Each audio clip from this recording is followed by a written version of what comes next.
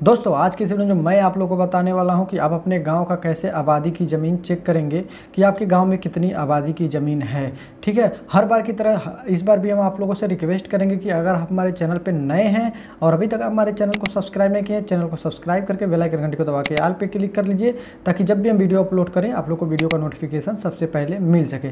चलिए, आप लोग को बताते हैं और लाइव दिखलाते हैं कैसे आप लोग को आबादी की ज़मीन चेक करनी है। आप लोग बिना स्किप के वीडियो देखिएगा। अगर स्किप करके भगा भगा के वीडियो देखेंगे तो आपको कहीं ना कहीं दिक्कत होगी, आप लोगों को समझ में नहीं आएगा। आप चार पाँच मिनट छः मिनट की वीडियो है, आप कंटिन्यू देखिए ताकि आपको सारी चीज़ें समझ में आ जाए। देखिए आपको सर्च यहाँ पे क्या करना है? यूपी देखिए UP Bhulekh dot G O V dot in ये आपको सर्च करना है।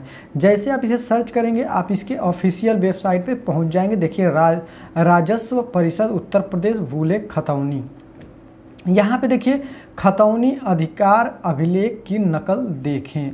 सिंपल सा आपको कुछ नहीं करना, इस पर क्लिक कर देना। जब इस पर आप क्लिक करेंगे तो देखिए यहाँ पे कह रहा है, इंटर कैप्चा कोड। ये जो कोड यहाँ पे दिखाई दे रहा है, वो यहाँ पे इसमें टाइप करना है इसमें फिल करना है, ठीक है? अगर ये कोड आपको नहीं समझ में आ रहा है तो सिंपल सा आपको क्या करना है, ये जो ऑप्शन दिख रहा है जो सर्किल टाइप का बना है, इस पर आपको क्लिक कर देना है। तो देखिए यहाँ पे दूसरा कोड आ गया। तो जो कोड आपको समझ में आए वो कोड डाल लीजिएगा। जैसे कि हमें समझ में आ रहा है एट है, उसके बाद देखिए कैपिटल ई है स्मॉल पी है, उसके बाद जी है, उसका थ्री फोर है। ठीक है, ये डालेंगे, जैसे सबमिट पे आप क्लिक करेंगे, देखिए इन इनकैरेट कैप्चा कह रहा है। तो हम दोबारा से रिफ्रेश करते हैं। दूसरा हम डालते हैं, ये गलत है तो कोई बात नहीं। देखिए यहाँ पे स्मॉल पी है, उसके बाद कैपिटल आई है उसके बाद कैपिटल आर है, उसके बाद स्मॉल वाई है डबल फाइव है। सिंपल से इसे हम फिल करने के बाद सबमिट पे क्लिक करेंगे। जैसे हम सबमिट पे क्लिक करेंगे, देखिए, हम इसके ऑफिशियल वेबसाइट पे, यहाँ पे ऑफिशियल वेबसाइट तो पहले भी आए थे मतलब जहाँ से हमको आबादी की ज़मीन देखनी हो, उस वाले साइट पे यहाँ पे आ गए, उस वाले पेज पे एक तरह से कहें।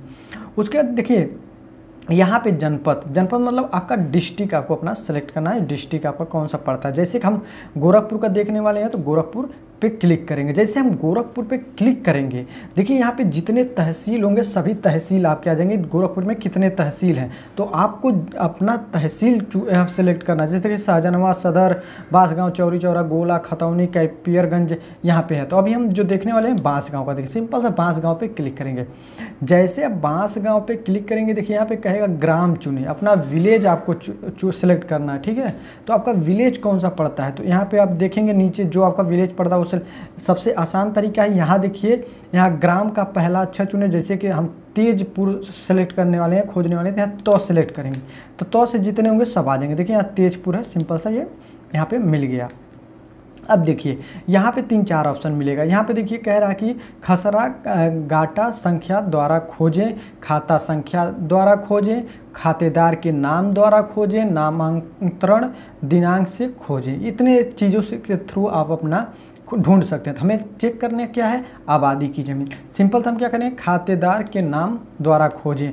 उसका देखिए, नाम के कुछ अक्षर भरें। तो इसमें आपको क्या करना है? जैसे कि हमें आबादी खोजना है तो यहाँ से आ दिख रहा है, आ हम सेलेक्ट करेंगे। उसके बाद क्या करेंगे? खोजे पे क्लिक करेंगे।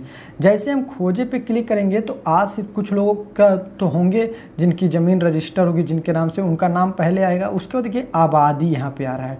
Zero zero, one, three, zero करके यहाँ पे आ रहा है। आप में कुछ भी नंबर हो सकता है।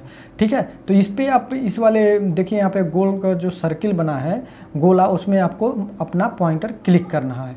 अगर आप मोबाइल से खोल रहे हैं तो आपको सीधे अपने हाथ से क्लिक करना उसका देखिए उदाहरण देखें, उद्व उदाहरण देखें हैं आप। ठीक है? सिंपल सा इस पर आपको क्लिक करना है। जैसे आप इस पर क्लिक करेंगे, आपको वेबसाइट में इंटर होने के लिए मतलब देखने के लिए आबादी की ज़मीन, ये कैप्चर आपको भरना है। यहाँ पे भी फिर सेम फंडा है। अगर आपको ये कोड नहीं समझ में आ रहा है तो ये ऑप्शन दिया जो सर्किल टाइप का, इस पर आप क्लिक करके दूसरा कोड मंगा सकते हैं। तो यहाँ देखिए, हमको समझ में आ रहा था हम सिंपल सा भरेंगे।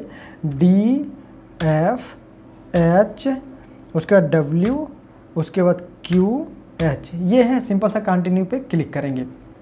अब देखिए, आबादी की ज़मीन जितनी है, सब यहाँ पे दिखा रहा है, ठीक है?